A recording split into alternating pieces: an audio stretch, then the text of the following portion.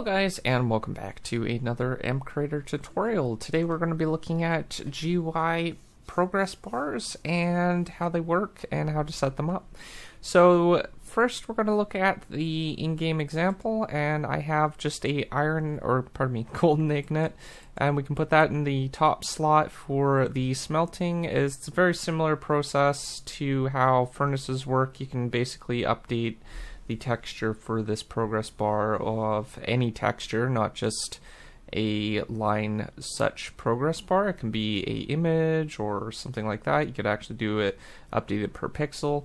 But uh, basically what happens is when we put the fuel in here, it's going to slowly go across the bar and uh, replace it with a blue texture to indicate how far it is actually in progress to basically complete, completing the recipe. When it's finished, it basically just does the regular furnace recipe smelting procedure and converts it into the items that it needs to be. So in our case, uh, the golden bar turned into a diamond, and the lava bucket turned into just a regular bucket.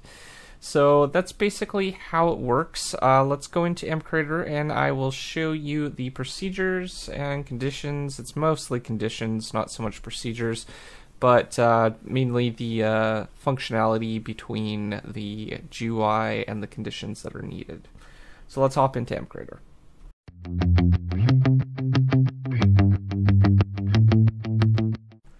Alright, so we're in mCreator now, and let's take a look at the GUI first before we get started, and then we'll basically break this down into a few different parts. So the first part is basically the GUI and how it's basically set up. So we have actually an image in the center here for our progress bar. Actually, we have several images.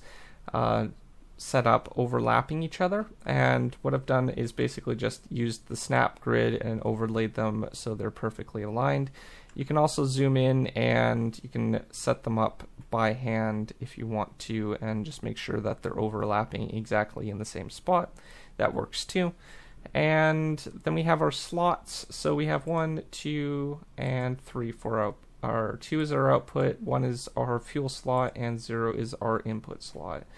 We also have a empty texture, which is not visible right now because there's stuff overlapping it. If we move it all the way down, then you can see this is our basic uh, always shown texture for our progress bar. And then basically what we've done is we have this at the top of the list here, and anything above this or below this will this empty particular texture will overlay the basic texture. So what we've basically done here is we've basically allowed it to overlay the texture itself. So in our case, our 0 is actually our 10%, 1 is our 20, and it goes all the way up to 9, which is our 100% uh, progress bar. So if we go over to our image. So if we click on this, we can see that our image is like this. I have our condition, which is basically the thing that controls if it's displayed or not, set to a specific condition. Now all these have separate conditions. This one has progress bar display 1, uh, 0 has progress display bar 0, and this one has 2, and so on. So let's take a look quickly at the next part, and that will be how the conditions are actually set up.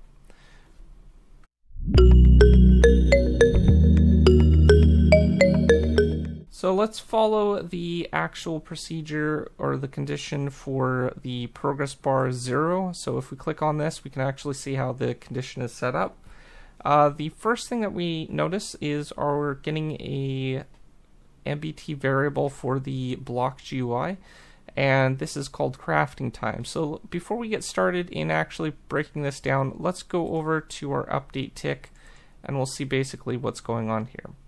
So our update tick is basically where we are creating our recipes. Basically what this does is it allows us to craft up the recipes and stuff like that. So there is a few different particular parts that are going on in this particular procedure.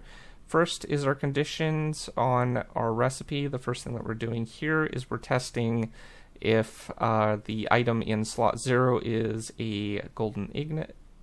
And then what we're doing is we're basically testing for two other things.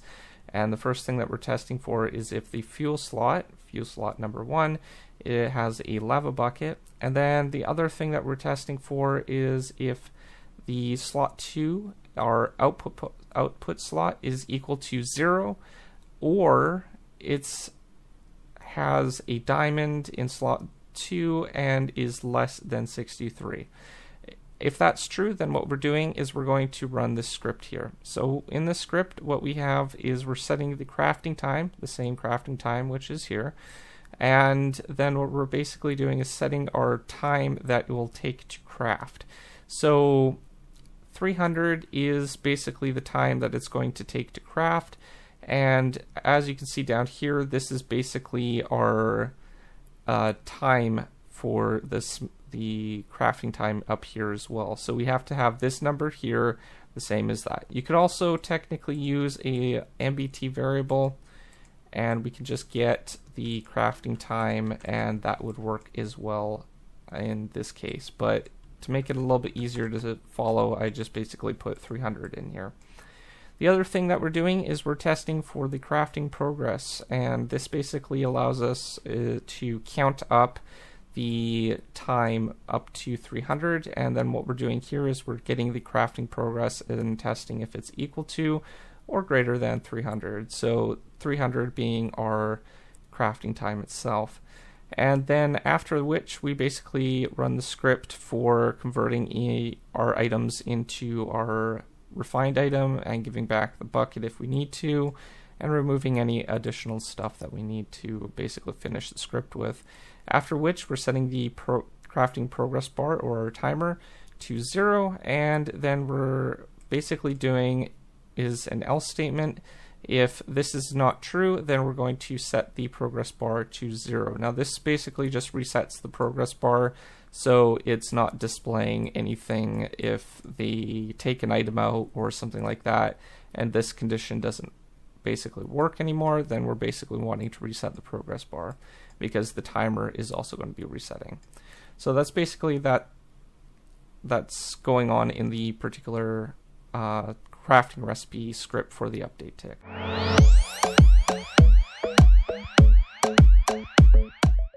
So going back to our condition, uh, what we're doing is we're basically getting the crafting time, so the time that it takes to basically smelt things, and then we're dividing that by 10. So 10 is a nice even number for 10% of a progress bar. So basically when we divide it by 10, we're setting it to a local variable, and this local variable is 10% of the number of 300. So that is exactly 30% or 30 in value. So every 30 ticks, this will basically um, act as the value. So below is basically where actual actual condition is basically running. Now, how a condition works is not too complicated. It's takes an if statement.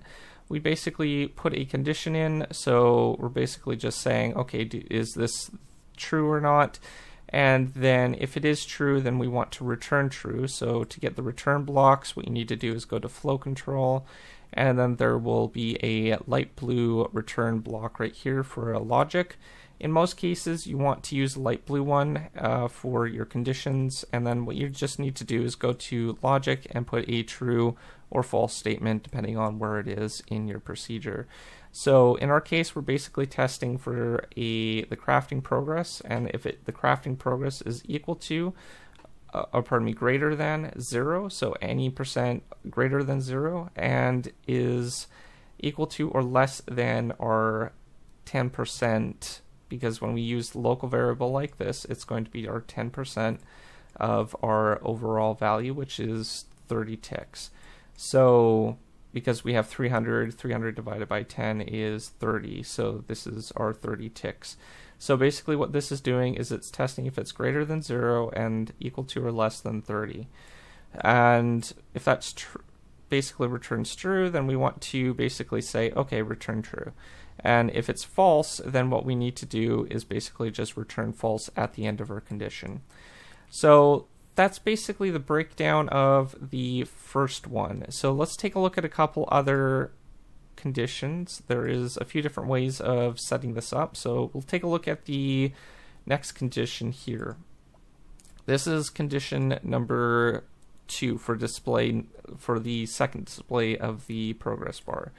So basically we're doing the exact same thing for the crafting. We're dividing it by 10 and then what we're doing is we're going to get our 10%. But oh wait, there's something a little bit different. There is the pro crafting progress and then we're getting the if it is equal to or greater than or pardon me, equal to or less than, and then we're multiplying this by 2. So basically what the multiply multiplying by 2 is doing is it's getting this overall value and then it's testing for two of those values. So this is 30, this is now 60. So we have our 30 and then we're multiplying it by 2. So this is times 2 and that equals 60. So we're basically testing for a range now between greater than our 30, so any number greater than it, and then if it is equal to or less than our 60. So that's basically for 2, and then there's one last uh, thing that I wanted to show, and that's the final progress bar. Now the final progress bar is a little bit different than the rest of them. There isn't a range that it's basically doing.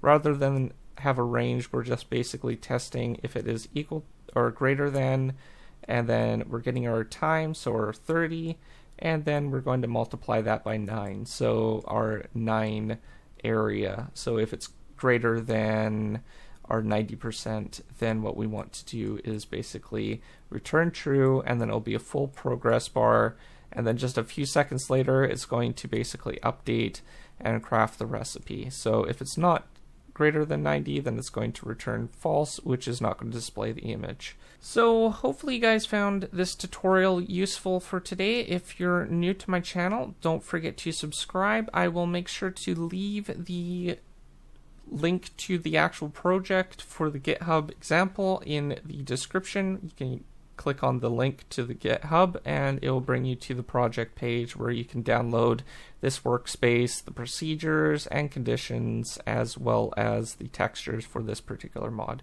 If you're, again, new to my channel, please think, consider subscribing. It does help out the channel, and if you can rate up the, the video if you enjoyed it, that would be great too.